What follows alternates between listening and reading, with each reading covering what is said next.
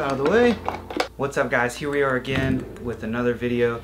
If you subscribed last week, thank you so much. To be honest, I didn't even think the, the video I made was gonna get 50 views, so the fact that we're getting close to 500 now, and the fact that I have 16 subscribers, thank you guys so much.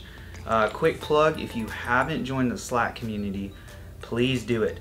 Uh, this video is actually a response to a conversation that we were having in Slack this week uh, about just my approach to the signal chain within my Helix, um, which actually, quick shout out.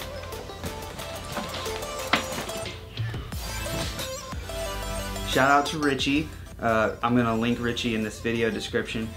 Uh, Richie asked, uh, or said, we were talking about just different signal chain stuff and he said, it'd be cool maybe to have a Helix rig rundown what amps, cabs, pedals you're using and stuff. I also downloaded Apache Made off of the Helix forum uh, and found it interesting that you do amps last in your chain rather than before delays.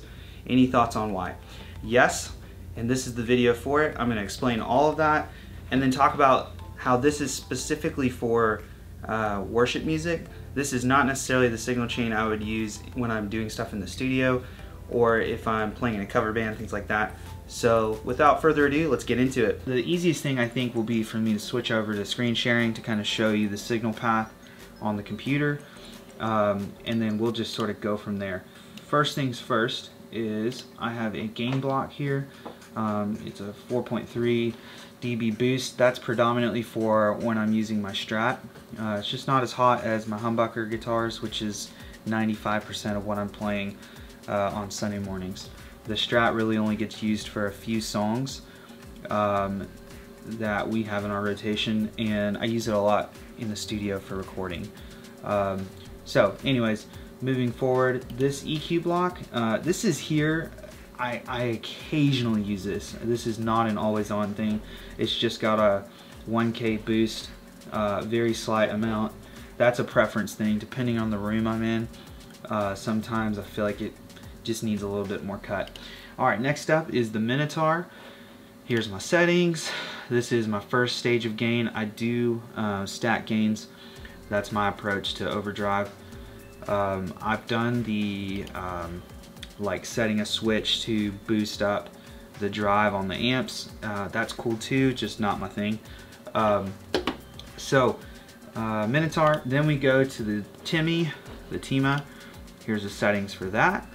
Um, this is typically uh, used for most choruses of songs, things like that. It, it's honestly um, my go-to sort of sound would be the Minotaur Teemah stacked.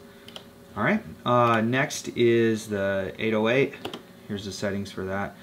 Uh, I use this pedal um, predominantly when I'm just doing like ripping solos. It's which is not mostly most of the time on Sundays. Uh, this is I use this more for our Wednesday night kids services that I do, uh, where there's a lot more freedom to just have a good time on some young and free songs. Uh, however, um, this is the overdrive I'm using mainly with the Strat. So I'll use I'll stack the Minotaur and the uh, the Scream 808 uh, for just big choruses and lead lines. It's it's a darker sound, uh, and it's something I'm familiar with. I've used 808s my entire life of playing guitar, uh, so I'm just really familiar with that sound. And I tend to find that it doesn't work great for humbuckers, in my opinion. All right, excuse me. Next up is the volume. Um, I prefer to have drives before uh, my volume pedal, similar to what I was doing when I had a pedal board. Okay, next up is the 70s chorus. This is not assigned to a switch, and I'll switch over and show you the board in just a second. So that's why I'm moving a little bit quick through here. Uh, this is a specific sound for specific songs, not consistent. Uh, the vibrato, I do have that. I use this a lot. Um, it's it's a sound that I like. It's not for everyone, uh, but I use this on a lot of my lead lines and things like that. Uh, the I've been saying things like that a lot. That's kind of annoying. Anyways, um, the next thing is the uh, trem. This is again not assigned to anything. This is not something that I use often. but I but I do have it just in a Sunday morning sort of setting in case I need it. Uh, next is the tape delay. This is a quarter note. I use this for solos. Uh, I use this for if you know if the song calls for it, like uh, that Kristian Stanfill song, um, always. Um, next in line is the transistor tape with a dotted eighth delay, and this is my main delay setup. I'll show you this. Whoops, wrong thing. Um, so here's my settings. Nothing crazy. Um, you will notice I run things a bit wet. Um, I I'm not a huge fan of the delays on the Helix. I, I find them to be not very musical compared to what I was using before, which is a TimeFactor. Um, so to be transparent, and I was kind of holding this out for another video, there is a piece of me that's thinking about putting my TimeFactor back on my board. Uh, we shall see. I'm gonna play with um, I'm gonna play with some of the delay stuff on 2.5 and we'll update you from there. But anyways, that's my main thing right there.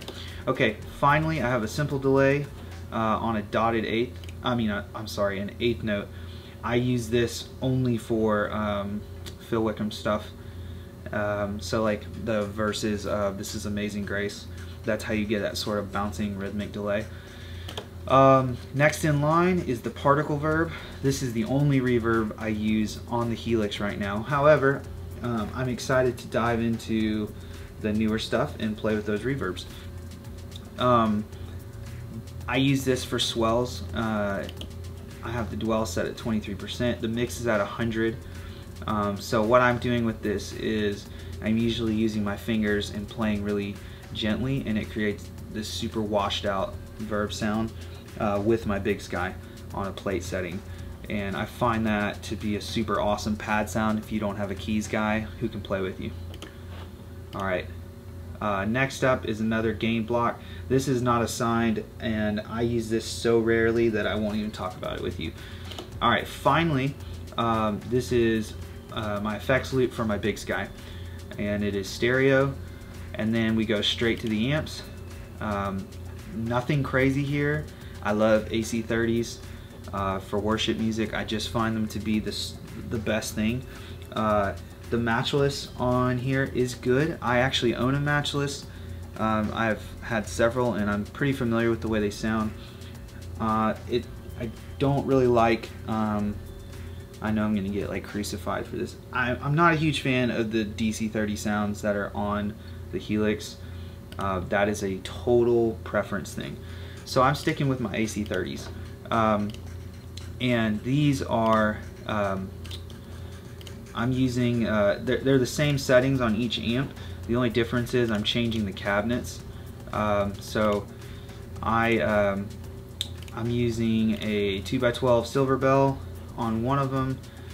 And I'll show you you can just see these really quick settings. Nothing there's really nothing fancy here. This is what I would normally do when I'd run stereo live.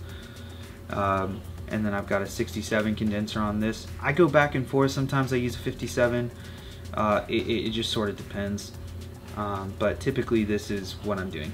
Really quickly, I just thought it might be helpful to show you the board uh, in terms of the layout of these effects. Um, so obviously tuner, tap tempos over here. Okay, so just as I was showing you on the computer, uh, first button is the Minotaur. Uh, the Scream is actually my second button. Um, and then the third button is the Teemah. Um, next is my reverb, which always stays on. Um, and then I've got the simple delay down here, uh, particle verb here, the bubble vibrato. My delays are right here. And then finally the boost is over here. Uh, so just wanted to show you, in case you were wondering visually, uh, how I have those things laid out. And you guys know over down yonder is the big sky on the Cali 76. So you have just seen my signal path. Let's talk about it for a second. Why do I run all of my stuff in front of the amps instead of running delays and reverbs behind it? Um, so this the quick and simple answer to that is uh, this is what I prefer. Uh, so I know it's not groundbreaking, but here here's the deal. When I first switched to Helix, um, my goal was to try to replicate what I was already doing live. And what I was doing live was I had a stereo rig uh, with a matchless in either a Vox or um, maybe a Marshall. I did that for a little while as well. Uh, and I had all the effects in front of the amps. Okay, so I found that it, I found that the easiest transition for me was to just do that initially, and then I told myself, you know, I'll explore from there, and that's what I did. So I've got two AC30s, I've got two different sort of uh, cab setup and sound setup, and then I ran everything in front of it. To me, that's the way that um, my guitar should sound for a worship environment. Now, when I'm doing studio stuff, yeah, I, sometimes I put the delays behind the amps, especially on like high gain stuff, things like that. It can get muddy. Uh, the same thing with reverbs.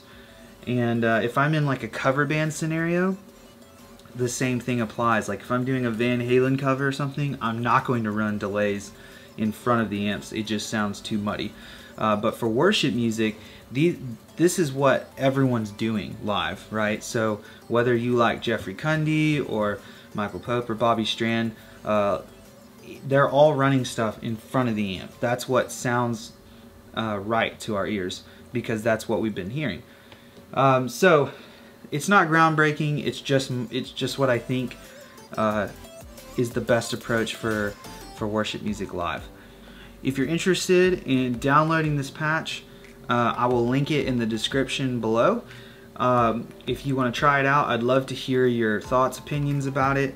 Um, hopefully I answered the questions for the guys in the Slack community along with maybe any of you who saw my initial pedalboard rundown. If you haven't seen that, I will link that in the description below as well.